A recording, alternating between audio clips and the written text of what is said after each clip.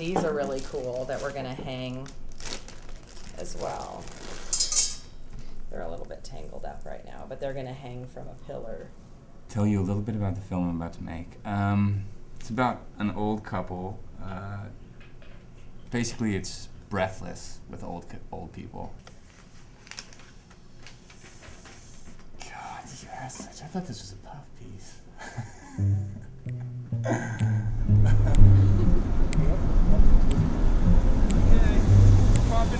Here we go.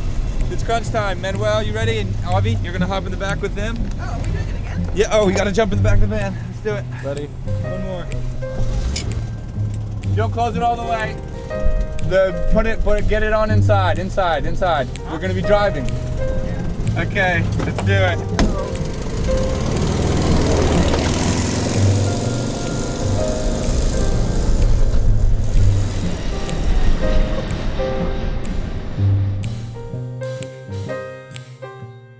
The story is, I think, is an everyday story of just a couple who feels young. They don't feel um, like they're old uh, in the eyes of just society. enjoying life seeing yourself in another 30 years and you know not waiting another 30 years to think about your future thinking about that financial stability